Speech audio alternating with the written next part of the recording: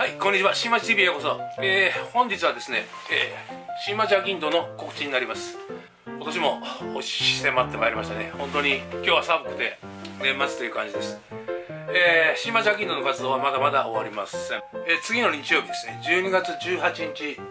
午前9時から、えー、場所は吉備中央町上田西2325の1、えー、道の駅鴨川ですね、えーまあ、先週の日曜日も行ってきた道の駅です。こちらの方に動画出しております。そちらの方で塩イノシシ焼きそばの販売を行います、えー、他にもですね、えーえー、道の駅自体がですね当日はイベントの最中なんでもちろん白菜、えー、世界のスイーツ試食販売、えー、大判焼きたこ焼き餅つきの実演販売もあります。こちらもはもう衛生の面は完璧なんで安心して食べていただけると思います。でですね年末に向けてもう一つ、えー、新町アキンドでは企画を行っております、え、こちらですね。入り漁港の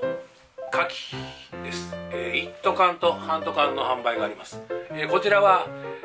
えー、12月の23日締め切りになっております、えー、もしご入り用の方はですねえ、私の方にメールいただいても構いませんし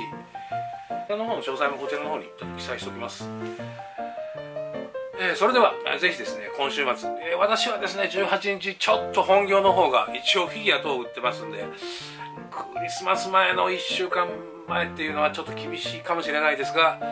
えー、時間ができましたら行こうと思ってます、えー、ぜひこの週末炎上道の駅に足を運ばれてはいかがでしょうか。えそれではもしこの動画がよろしければ高評価をお願いします。以上新町 TV の動画をお送りしました。